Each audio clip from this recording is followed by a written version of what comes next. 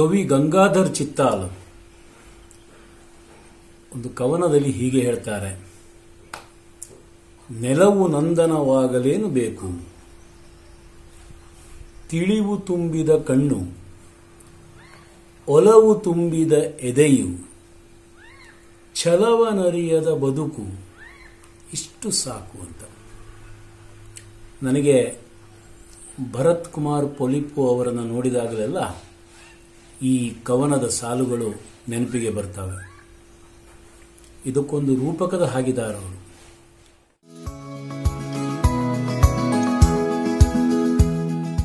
ನಮಸ್ಕಾರ. ನಾನು doctor Shyamala Prakash. Doctor Bharat Kumar ಪೊಲಿಪೋ ಅವರ ಹಲವಾರು ನಾಟಕಗಳಿಗೆ ಸಂಗೀತವನ್ನು ನಿರ್ದೇಶಿಸಿ ಹಾಡಿದಂತ ಸೌಭಾಗ್ಯ ನನ್ನದು. ಡಾಕ್ಟರ್ ಭರತ್ ಕುಮಾರ್ ಪೊಲಿಪೋ ಮುಂಬೈ ನಾಟಕ ರಂಗದ ಹೆಮ್ಮೆಯ ಪ್ರತೀಕ. ನಾಟಕಗಳು ನಾಟಕ ಪ್ರದರ್ಶನ ಅಂದರೆ ಕೇವಲ ಮನೋರಂಜನೆ ಮಾತ್ರವಲ್ಲ, ಅದು ಬೌದ್ಧಿಕ ಚಿಂತನೆಯತ್ತ ನಮ್ಮನ್ನ ಸೆಳೆಯಬೇಕು ಅನ್ನುವುದು ಅವರ ಯಾವತ್ತಿನ ಹೇಳಿಕೆ. ಅವರ ನಾಟಕಗಳನ್ನು ನೋಡಿದವರಿಗೆ ಇದು ಖಂಡಿತ ಗೊತ್ತಾಗಿರುತ್ತೆ. ಡಾಕ್ಟರ್ ಭರತ್ ಕುಮಾರ್ ಪುಲಿಪ್ಪು ಆ ಹೆಸರೇ ನಮಗೇನೋ ಒಂದು ಲವಲವಿಕೆಯನ್ನು ಮೂಡಿಸ್ತದೆ. ಎಷ್ಟೋ ವರ್ಷಗಳಿಂದ ಅವರ ಒಡನಾಟದಲ್ಲಿದ್ದ ನನಗೆ ಆ ಹೆಸರೇ ಒಂದು ಸ್ಫೂರ್ತಿ. ಅವರು ವ್ಯಕ್ತಿ ಅಲ್ಲ ಅದೊಂದು ಶಕ್ತಿ ರಂಗಭೂಮಿಗೊಂದು ಶಕ್ತಿ. ನಮಸ್ಕಾರ, ನಾನು ಸೂರಿ ಮಾರ್ನಾಡ್. ಜೀವನದ ಕನಸಿನ ಜೋಡಿಗೆ ಹೊತ್ಕೊಂಡು ಮುಂಬೈಗೆ ಬಂದು ಮತ್ತೆ ಜೋಳಿಗೆಯೊಳಗೆ ಇಣುಕಿದಾಗ ಕೆಲವೊಂದು ಕನಸುಗಳು ಇನ್ನೂ ಸಾರ್ತಿದ್ವು ಅದರಲ್ಲಿ ಒಂದು ಕನಸು ನಾಟಕ. ನನ್ನ ಈ ಕನಸನ್ನ ಮತ್ತೆ ಚಿಗುರೊಳಿಸಿದವರು ಡಾಕ್ಟರ್ ಭರತ್ ಕುಮಾರ್ ಪೊಲಿಪು ಸರ್. ಜೀವನದಲ್ಲಿ ಮುಂದೆ ಬರಬೇಕಾದ್ರೆ ನಮ್ಮ ಮುಂದೆ ಗುರಿ ಇರ್ಬೇಕಂತೆ, ಹಿಂದೆ ಗುರು ಇರ್ಬೇಕಂತೆ. ಹಾಗೆ ನಮ್ಮ ಮುಂದಿನ ಗುರಿ ತಲುಪಲು ನಾಟಕ ಗುರುವಾದವರು ಡಾಕ್ಟರ್ ಭರತ್ ಸರ್. ಅವರು ಉಡುಪಿ ತಾಲೂಕಿನ ಪೊಲಿಪು ಅನ್ನೋ ಕರಾವಳಿಯ ಒಂದು ಸಣ್ಣ ಊರಿನಿಂದ ಬಂದವರು. ಇವರ ಶಿಕ್ಷಣ ಅಭ್ಯಾಸ, ಅಂದರೆ ಪ್ರೈಮರಿ ಎಜುಕೇಷನ್ ಟೆಂತ್ವರೆಗೂ ಆಗಿದ್ದು, ಅಲ್ಲೇ ಪಲಿಪುನಲ್ಲಿ ಪೊಲಿಪುನಲ್ಲಿ ಫಿಶರೀಸ್ ಸ್ಕೂಲಿಂದ ಅದಾದ ಮೇಲೆ ಟೆಂತ್ ಲೆವೆ ಲೆವೆಂತ್ ಟ್ವೆಲ್ತು ಕಟ್ಪಾಡು ಅನ್ನುವ ಉಡುಪಿಯ ತಾಲೂಕಿನಲ್ಲೇ ಬರುವಂಥ ಒಂದು ಹೈಸ್ಕೂಲ್ನಲ್ಲಿ ಆಯಿತು. ಅದಾದ ಮೇಲೆ ಉಡುಪಿಗೆ ಬಂದು ಪೂರ್ಣ ಪ್ರಜ್ಞಾ ಕಾಲೇಜ್ ಅಲ್ಲಿ ಬಿ ಕಾಮ್ ಓದೋದಕ್ಕೆ ಅಂತ ಅಂದ್ಬಿಟ್ಟು ತಮ್ಮ ಗ್ರ್ಯಾಜುಯೇಷನ್ಗೆ ಈ ಉಡುಪಿಗೆ ಬಂದಿದ್ದೇ ತಡ, ಅವರಿಗೆ ರಂಗಭೂಮಿ ಆಸಕ್ತಿ ಕೆದರಿತ್ತು. ಎಲ್ಲಲ್ಲಿ ಅವರು ಏನೇನು ಮಾಡಬೇಕು ಅಂತಿದ್ರು ಅವರ ಎಲ್ಲ ಕನಸುಗಳಿಗೂ ಅವಾಗ ಗರಿಬಿಚ್ಚಿತ್ತು.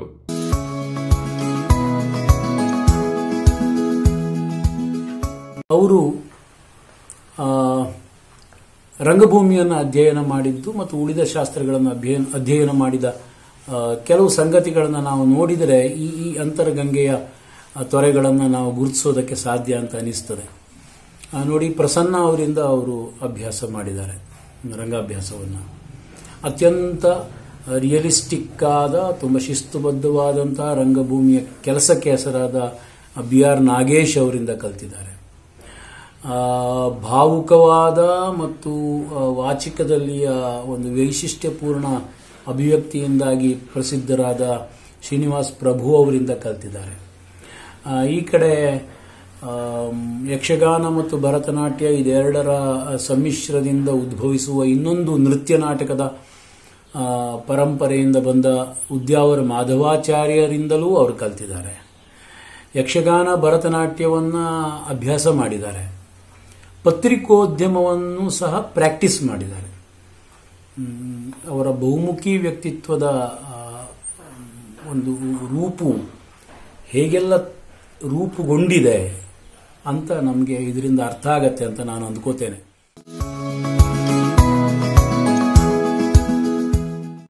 ಇದಾದ ಮೇಲೆ ಇದೇ ಶಮೀಕೆ ಅವರಿಗೆ ಮಗವೀರ ಕೋಆಪರೇಟಿವ್ ಬ್ಯಾಂಕ್ನಲ್ಲಿ ಒಂದು ಉದ್ಯೋಗ ಸಿಕ್ತು. ಹೀಗಾಗಿ ಜೀವನಕ್ಕೆ ಒಂದು ಮಾರ್ಗ ಆದಮೇಲೆ ಅವರು ಆಯ್ದುಕೊಂಡಿದ್ದು ರಂಗಭೂಮಿ ಹೇಗೆ ನಡೆಸಬೇಕು ಅನ್ನೋ ಅವರ ಅನ್ನೋದನ್ನು ಅವ್ರು ತೀರ್ಮಾನ ಮಾಡಿಕೊಂಡ್ರು.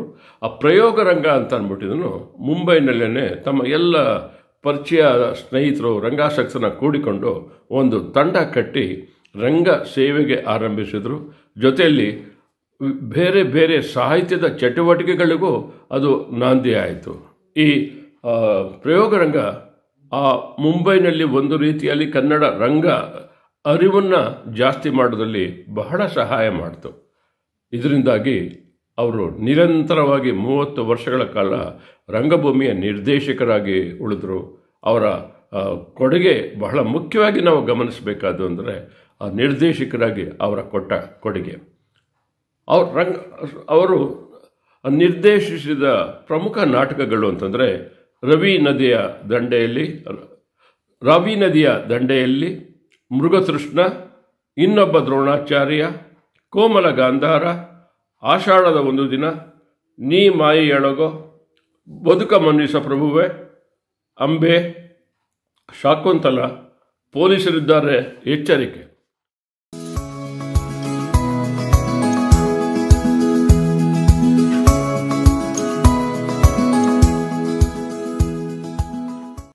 ನಾನು ಅವರ ಜೊತೆ ಪೂರ್ಣ ಪ್ರಮಾಣದ ನಾಟಕ ಮಾಡಿದ್ದು ಒಂದೇ. ಅಂಬೆ ಎನ್ನುವ ನಾಟಕವನ್ನು ನಾವು ಕನ್ನಡದಲ್ಲಿ ತುಳುವಲ್ಲಿ ಮಾಡಿದ್ದು, ಅದು ಮುಂಬಯಿಯ ಹೊರಗೆ ಕರ್ನಾಟಕದಲ್ಲಿ ಮತ್ತು ಡೆಲ್ಲಿಯಲ್ಲಿ ಅನೇಕ ಕಡೆ ಹಲವಾರು ಪ್ರಯೋಗಗಳನ್ನು ಮಾಡಿದ್ವಿ ನಾವು. ಸಾಕಷ್ಟು ಜನಮನ್ನಣೆಯನ್ನು ಗಳಿಸಿತ್ತದು. ನಾಟಕದ ರಿಹರ್ಸಲ್ ಅಲ್ಲಿ ಒಂದು ನನಗೆ ಎದ್ದು ಕಂಡ ಅಂಶ ಅಂದ್ರೆ ಭರತ್ ಅವರು ಕೊಡುವ ನಟ ನಟಿಯರಿಗೆ ಕೊಡುವ ಪೂರ್ಣ ಪ್ರಮಾಣದ ಸ್ವಾತಂತ್ರ್ಯ. ಇದೇ ರೀತಿಯಿಂದ ಮಾಡಬೇಕಾ, ಇದೇ ಹೋಗಬೇಕು, ಹೀಗೆ ಮಾಡ್ಬೇಕಂತ ಏನು ಹೇಳುವರಲ್ಲ ಅವರು. ನಮಗೆ ಆದಷ್ಟು ಸ್ವಾತಂತ್ರ್ಯ ಕೊಟ್ಟು ನಟ ಅಥವಾ ನಟಿ ಅವರ ಕಲ್ಪನೆಯನ್ನು ಮೀರಿ ಇನ್ಯಾವುದೋ ಕಡೆಗೆ ಹೋಗ್ತಿದಾರಂತ ಅನ್ಸಿದ್ರೆ ಮಾತ್ರ ನಡುವೆ ಪ್ರವೇಶ ಮಾಡಿ ಹೀಗೆ ಹೀಗೆ ಹೀಗೆ ಮಾಡುವ ಹೀಗೆ ಮಾಡುವ ಅಂತ ಸೂಚನೆ ಕೊಡ್ತಾರವರು. ಸೊ ಆ, ಅವರು ಕೊಡುವ ಆ ಸ್ವಾತಂತ್ರ್ಯ ನಮಗೆ ಒಂಥರ ತುಂಬ ನೆಮ್ಮದಿ ನಮ್ಮ ತಂಡದವರಿಗೆ ಆ ತಂಡದ ಒಗ್ಗಟ್ಟನ್ನು ಉಳಿಸ್ಕೊಳ್ಳಿಕ್ಕೆ ಮತ್ತು ನಮ್ಮ ನಮ್ಮ ಅಭಿವ್ಯಕ್ತಿಯನ್ನು ತೋರಿಸ್ಲಿಕ್ಕೆ ಅದು ತುಂಬ ಸಹಕಾರಿ.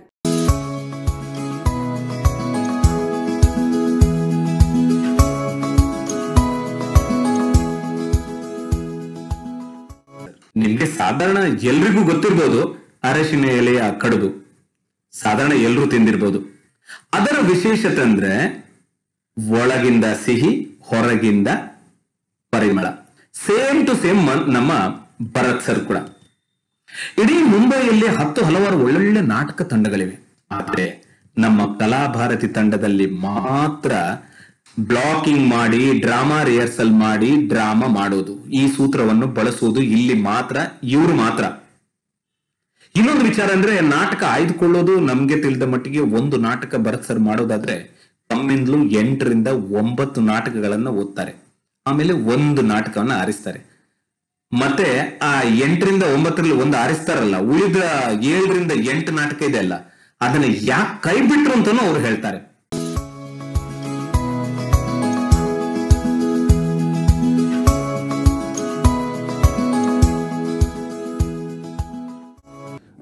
ನಾಟಕ ಆಗಬೇಕಾದ್ರೆ ಎಲ್ಲವೂ ನಂಬರ್ ಒನ್ ಆಗಬೇಕು. ಅದು ಮ್ಯೂಸಿಕ್ ಇರಲಿ ಲೈಟಿಂಗ್ ಇರಲಿ, ಅಥವಾ ಈ ಮೂಮೆಂಟ್ ಇರಲಿ, ಅಥವಾ ಸೆಟ್ಟಿಂಗ್ ಇರಲಿ, ಎಲ್ಲವೂ ಡಿಸ್ಕಸ್ ಮಾಡ್ತಾ, ಎಲ್ಲದ್ರ ಬಗ್ಗೆನೂ ಚರ್ಚೆ ಮಾಡುತ್ತಾ, ಅಂದರೆ ನಮ್ಮನ್ನೆಲ್ಲ ಕೂರಿಸಿಕೊಂಡೆ ಅವರು ನಾಟಕಕ್ಕೆ ಪದ್ಯವನ್ನು ರಚಿಸುವಾಗ ಅದು ಎಲ್ಲರನ್ನ ಕೂರಿಸ್ಕೊಂಡು. ಯಾಕಂದರೆ ನಾಟಕ ನಮ್ಮ ರಿಹರ್ಸಲ್ ಆದ್ಕೊಳ್ಳೆ ನೀವು ಓಡೋದಲ್ಲ. ಬೇರೆಯವ್ರ ರಿಹರ್ಸಲ್ ನೋಡಬೇಕು. ನಿಂತು ಅಲ್ಲಿ ನಾರ್ಮಲಿ ಮುಂಬೈಲಿ ಏನಂದರೆ ಎಲ್ಲ ಓಡೋದೆ. ಯಾಕಂದರೆ ಇಲ್ಲಿ ಗೊತ್ತಲ್ವ ಎಲ್ಲರೂ ಬ್ಯುಸಿನೇ ನನ್ನ ರೋಲ್ ಆಯಿತು ನಂದು ಇದಾದ ಕೂಡಲೇ ನಾನು ಎತ್ಕೊಂಡು ಓಡಿದೆ. ಹಾಗಾಗೋದಿಲ್ಲ. ನಾಟಕ ಅನ್ನೋದು ಒಂದು ಟೋಟಲ್ ಪ್ರಕ್ರಿಯೆ. ಎಲ್ಲರೂ ಇನ್ವಾಲ್ವ್ ಆಗಬೇಕು. ಮ್ಯೂಸಿಕ್ ಆದಾಗಲೂ ಏನೂ ಆಗಬೇಕು. ಡ್ರೆಸ್ಸಿಂಗ್ ಐ ಮೀನ್ ಮೇಕಪ್ ಮನೆ ಬಂದಾಗಲೂ, ಇದಾಗಲೂ ಅದನ್ನು ನೋಡಬೇಕು. ಯಾವ ಪಾತ್ರಕ್ಕೆ ಯಾವ ಡ್ರೆಸ್ ಹೊಂದುತ್ತೆ. ಆಮೇಲೆ ಕಾಸ್ಟ್ಯೂಮ್ ಡಿಸೈನ್ ಬಗ್ಗೆನೂ, ಆ ಕಲರ್ ಯಾವ ಕಲರ್ ಹಾಗೆ ಯಾಕಿದೆ ಅನ್ನೋದನ್ನು ಕೂಡ ಅವರು ಮಾಡಬೇಕು. ಅವ್ರು ಹಾಗಿರಬೇಕು ಹೇಗೆ ರೆಡಿ ಆಗಬೇಕು ಒಬ್ಬ ಕಲಾವಿದ ಅನ್ನೋದನ್ನು ಕೂಡ ತೋರಿಸ್ಕೊಟ್ಟಿದ್ದಾರೆ. ದೊಡ್ಡ ಆಸ್ತಿ ಅವರು ಭರತ್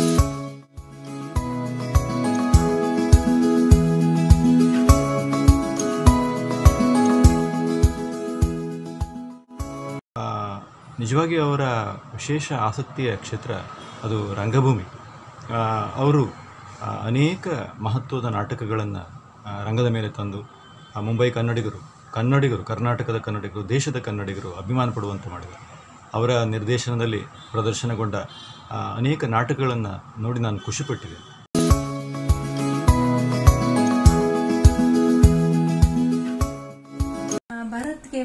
ನಿರ್ದೇಶಕರಾಗಿ ಮಾತ್ರವಲ್ಲ, ಅವರ ಮಹತ್ತರವಾದ ಸಂಶೋಧನೆ ಮುಂಬೈ, ಕನ್ನಡ ರಂಗಭೂಮಿ ಮಹಾಪ್ರಬಂಧ ಗ್ರಂಥರೂಪವನ್ನು ತಾಳಿದೆ. ರಂಗಭೂಮಿಯ ಒಂದು ವಿಸ್ತಾರವಾದ ಪ್ರಪಂಚವನ್ನ, ವಿಸ್ತಾರವಾದ ಇತಿಹಾಸವನ್ನ ನಮ್ಮ ಮುಂದೆ ಅದು ತೆರೆದಿಟ್ಟಿದೆ.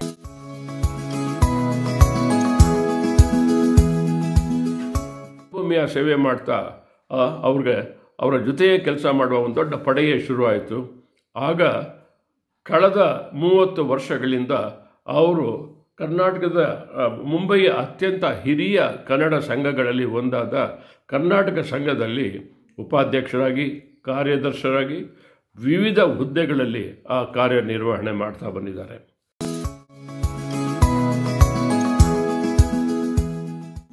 ನಾಟಕ ನಿರ್ದೇಶನವಲ್ಲದೆ ಮುಂಬಯಿಯ ಕರ್ನಾಟಕ ಸಂಘದಲ್ಲಿ ಅವರು ದಶಕಗಳಿಂದ ಈಗ ಸಂಸ್ಕ, ಕನ್ನಡ ಸಂಸ್ಕೃತಿಯನ್ನು, ಕನ್ನಡ ಸಾಹಿತ್ಯವನ್ನು, ಅದರ ಹಲವಾರು ಕಾರ್ಯಕ್ರಮಗಳನ್ನು, ಗ್ರಂಥಾಲಯ ಇತ್ಯಾದಿ ಇತ್ಯಾದಿ, ನಾಟಕೋತ್ಸವ, ನಾಟಕ ಸ್ಪರ್ಧೆ, ಇವುಗಳನ್ನೆಲ್ಲ ಆಯೋಜಿಸ್ತಾ ಬಂದಿದ್ದಾರೆ. ಮುಂಬೈ ಕನ್ನಡಿಗರಿಗೆ ಒಂದು ಕನ್ನಡ ಸಂಸ್ಕೃತಿಯ, ಅದರ ಅದರ ಅದರ ಸಂಪರ್ಕವನ್ನು ಸಂಪರ್ಕದಲ್ಲಿ ಇರುವಂತೆ ಅವರು ತುಂಬ ಪ್ರಯತ್ನ ಮಾಡಿದ್ದಾರೆ. ಅದಕ್ಕಾಗಿ ನಾವು ಅವರನ್ನು ಅಭಿನಂದಿಸಲೇಬೇಕು. ಮುಖ್ಯವಾಗಿ ಈಗ ನನಗನ್ಸುತ್ತೆ ಇಪ್ಪತ್ತಕ್ಕೂ ಹೆಚ್ಚು ವರ್ಷಗಳಿಂದ ಕುವೆಂಪು ಸ್ಮಾರಕ ಏಕಾಂಕ ನಾಟಕ ಸ್ಪರ್ಧೆಯನ್ನು ಆಯೋಜಿಸ್ತಾ ಬಂದಿದ್ದಾರೆ.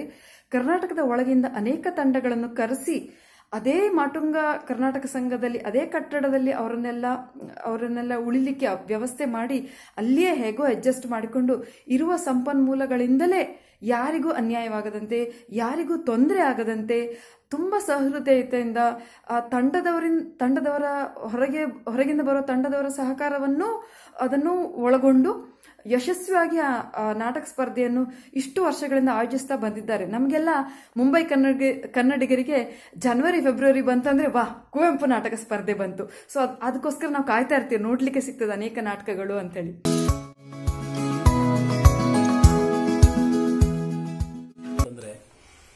ಮುಂಬೈ ಕರ್ನಾಟಕ ಸಂಘ ತುಂಬ ಸೆಕ್ಯುಲರ್ ಆಗಿರುವಂಥದ್ದು ತುಂಬ ಜಾತ್ಯತೀತವಾಗಿರುವಂಥದ್ದು ಮತ್ತು ಅಲ್ಲೊಂದು ಸಾಂಸ್ಕೃತಿಕವಾದ ಸಾಹಿತ್ಯಿಕವಾದಂತಹ ಒಂದು ಬಹಳ ಚಂದದ ಬದುಕಿದೆ ಆ ಆವರಣಕ್ಕೆ ಭರತ್ ಕುಮಾರ್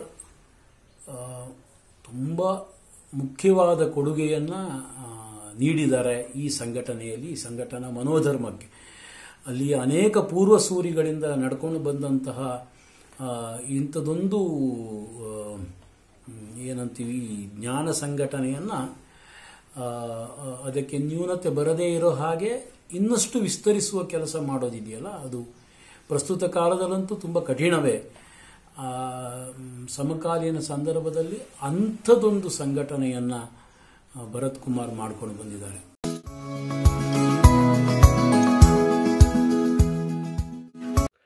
ಅವರಿಗೆ ಬಂದ ಪ್ರಶಸ್ತಿಗಳು. ಕರ್ನಾಟಕ ನಾಟಕ ಅಕಾಡೆಮಿಯ ಪ್ರಶಸ್ತಿ ಕಾತಾವರ ಕನ್ನಡ ಸಂಘದ ಸುವರ್ಣ ಸಮ್ಮಾನ ಪ್ರಶಸ್ತಿ. ದೆಹಲಿಯಲ್ಲಿ ಅವರೇ ಬರೆದ ಅರುಂಧತಿ ತುಳು ನಾಟಕಕ್ಕೆ ರತ್ನವರ್ಮ ಸ್ಮಾರಕ ಪ್ರಥಮ ಬಹುಮಾನ ಬಂದಿದೆ ಅನ್ನೋದು ಕೂಡ ಒಂದು ದೊಡ್ಡ ವಿಶೇಷ.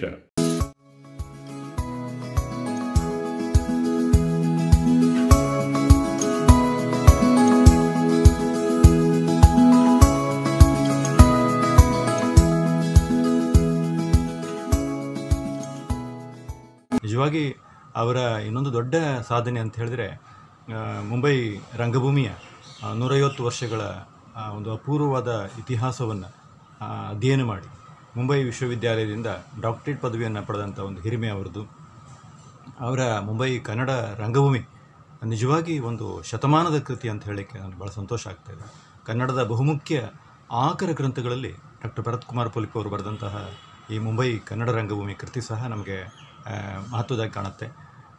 ಅವರ ವಿಶೇಷ ಅಧ್ಯಯನ ಈ ಮುಖಾಂತರವಾಗಿ ನಡೆದದ್ದು ಕನ್ನಡದ ಭಾಗ್ಯ ಅಂತ ನಾನು ಅಂದ್ಕೊಂಡಿದ್ದೆ ಅವರ ಈ ಕೃತಿ ನೂರೈವತ್ತು ವರ್ಷಗಳ ಮುಂಬೈ ಕನ್ನಡ ರಂಗಭೂಮಿ ಭೌಭಾಷಿಕ ರಂಗಭೂಮಿಯ, ಭಾರತೀಯ ರಂಗಭೂಮಿಯ, ಕನ್ನಡ ರಂಗಭೂಮಿಯ ಸಮಗ್ರ ಮುಖಗಳನ್ನು ದಾಖಲು ಮಾಡುವಂತಹ ಒಂದು ಅಪೂರ್ವ ಕೃತಿಯಾಗಿ ನಮಗೆ ಮುಖ್ಯ ಆಗುತ್ತೆ. ಒಂದು ಅಧ್ಯಯನದ ಶಿಸ್ತನ್ನು ಮೈಗೂಡಿಸಿಕೊಂಡು ಮುಂಬಯಿಯ ಹೊರನಾಡದ ಮುಂಬಯಿಯ ಒಂದು ಸಾಂಸ್ಕೃತಿಕ ರಂಗಭೂಮಿಯ, ಆ, ಒಂದು ಇತಿಹಾಸವನ್ನು ಅತ್ಯಂತ ಅಧಿಕೃತವಾಗಿ ಒಂದು ಮಾದರಿ ಎನ್ನುವ ಹಾಗೆ ಅವರು ಕಟ್ಟಿಕೊಟ್ಟಿದ್ದಾರೆ. ಅದು ಒಂದು. ಇನ್ನೊಂದು ಮುಖ್ಯ ಅಂಶ ಭರತ್ ಬಗ್ಗೆ ಹೇಳುವುದಾದರೆ, ಅವರ ಯಾವುದೇ ಸಭಾ ಕಾರ್ಯಕ್ರಮದಲ್ಲಿ ಅವರ ಅಚ್ಚುಕಟ್ಟುತನ. ಇನ್ನು ಸಮಯಕ್ಕೆ ಒಂದು ಅವ್ರು ಕೊಡುವ ಮನ್ನಣೆ.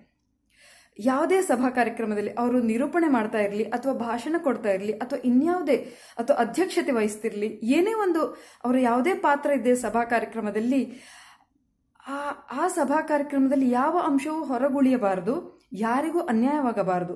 ಬಂದಿರೋ ಪ್ರೇಕ್ಷಕರಿಗೂ ಅವರ ಸಮಯ ವ್ಯರ್ಥವಾಗಬಾರದು.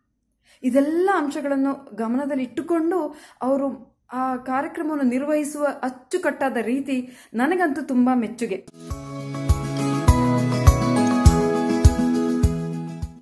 ಅವ್ರಿಗೆ ಕೇಳಿದ್ರೆ ನಿಮಗೆ ಇಲ್ಲಿ ಮಹಾರಾಷ್ಟ್ರದಲ್ಲಿ ಯಾವ ರಂಗ ನಿರ್ದೇಶಕರು ಸ್ಫೂರ್ತಿಯಾದರು ಅಂತಂದರೆ ಅವರು ತಕ್ಷಣ ಹೇಳುವ ಹೆಸರುಗಳು ಸತ್ಯದೇವ್ ದುಬೆ ಹಾಗೂ ಜಬ್ಬಾರ್ ಪಟೇಲ್. ಈ ಇಬ್ಬರು ಮರಾಠಿ ನಿರ್ದೇಶಕರು ಡಾಕ್ಟರ್ ಭರತ್ ಕುಮಾರ್ ಪೊಲೀಪ್ ಅವ್ರ ಮೇಲೆ ಒಂದು ರಂಗ ಸ್ಫೂರ್ತಿ ನೀಡಿದ್ದಾರೆ. ಅವರ ಒಂದು ಹೊಸ ಒಳ ನೋಟವನ್ನು ಕೊಟ್ಟವರು ಇವರಿಬ್ಬರು ನಿರ್ದೇಶಕರು. ಹೀಗೆ ಕಳೆದ ವರ್ಷ ಆಗಸ್ಟ್ ಮೂವತ್ತೊಂದು ಅವರು ಮೊಗವೀರ ಬ್ಯಾಂಕ್ನಿಂದ ಅಧಿಕಾರಿಯಾಗಿ ನಿವೃತ್ತಿ ಹೊಂದಿದ್ದಾರೆ. ಈಗ ಸಾಕಷ್ಟು ಬಿಡುವಿದೆ. ಕೆಲಸದ ಆಫೀಸಿನ ಒತ್ತಡ ಇಲ್ಲ. ಹಾಗಾಗಿ ಅವರು ಹೆಚ್ಚು, ಹೆಚ್ಚಾಗಿ ನಾಟಕ ಸಾಹಿತ್ಯದ ಬಗ್ಗೆ ಗಮನ ಕೊಡ್ಬೋದು ಅಂತ ನಾವೆಲ್ಲ ಅನಿಸ್ತಾ ಇದ್ದರೆ ಸದ್ಯಕ್ಕೆ ಅವರು ಮತ್ತು ಅವರ ಎಲ್ಲ ಗೆಳೆಯರು ಸೇರಿಕೊಂಡು ಅವರೆಲ್ಲರ ಗುರಿ ಒಂದೇ ಆಗಿದೆ. ಅದೇನು ಅಂತಂದರೆ ಕರ್ನಾಟಕ ಸಂಘಕ್ಕೆ ಹೊಸ ಕಟ್ಟಡ ನಿರ್ಮಾಣದ ಅವರ ಕನಸು ನನಸಾಗಿಸಲು ಹಗಲು ರಾತ್ರಿ ಶ್ರಮಿಸುತ್ತಿದ್ದಾರೆ.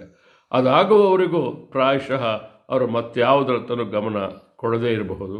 ಸೊ ನಾವು ಅವರಿಗೆ ಕೇಳ್ಕೊಳ್ಬೋದು, ಏನು ಅಂತಂದರೆ ದೇವರು ಅವರ ಈ ಕನಸನ್ನು ಕರ್ನಾಟಕ ಸಂಘದ ಭವ್ಯ ಕಟ್ಟಡ ನಿರ್ಮಾಣ ಆಗೋದಕ್ಕೆ ಎಲ್ಲ ರೀತಿಯ ಸಹಕಾರ ಸಿಗಲಿ, ಅವರ ಕನಸು ನೆನಸಾಗಲಿ ಅಂತ ಡಾಕ್ಟರ್ ಭರತ್ ಕುಮಾರ್ ಪುಲೀಪ್ ಅವರೇ, ನಿಮ್ಮ ಈ ಎಲ್ಲ ಚಟುವಟಿಕೆಗಳಿಂದ ನೀವು ನನಗೆ ಪರಿಚಯ, ನೀವು ನನಗೆ ಸ್ನೇಹಿತರು ಅಂತ ಹೇಳ್ಕೊಳ್ಳೋಕ್ಕೆ ಭಾಳ ಸಂತೋಷ ಆಗುತ್ತೆ.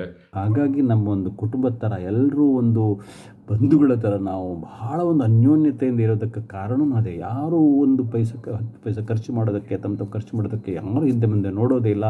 ಅಲ್ಲಿ ಪೈಸ ಅಂತೂ ಹಣ ಅಂತ ಗೌಣ, ಬರೀ ಪರ್ಫಾರ್ಮೆನ್ಸ್ ಬರೀ ಪರ್ಫಾರ್ಮೆನ್ಸ್ ಔಟ್ಪುಟ್ ಬೆಸ್ಟ್ ಬರಬೇಕು ಅನ್ನೋ ಒಂದು, ಆ ಒಂದು ಅಂಥ ಒಂದು ರಂಗ ನಿರ್ದೇಶಕರನ್ನು ನಾನಂತೂ ಖಂಡಿತ ನನ್ನ ಅನುಭವದಲ್ಲಿ ನಾನು ಬೇರೆ ಬೇರೆಗಳಿಂದ ಬೇರೆ ಬೇರೆ ದೃಷ್ಟಿಯಿಂದ, ಬೇರೆ ಬೇರೆ ಕೋನಗಳಿಂದ ಶ್ರೇಷ್ಠರು, ಎಲ್ಲ ಶ್ರೇಷ್ಠರು, ಡೈರೆಕ್ಟರ್ಗಳೇ ಒಂದೊಂದು ಆ್ಯಂಗಲ್ನಲ್ಲಿ ಇವರಂತೂ ಎಲ್ಲ ಆ್ಯಂಗಲ್ನಲ್ಲೂ ನನಗೆ ಬಹಳ ಒಂದು ಅದ್ಭುತವಾದ ಸಂತೃಪ್ತಿಯನ್ನು ಕೊಟ್ಟ ನಿರ್ದೇಶಕರು ಭರತ್ ಕುಮಾರ್.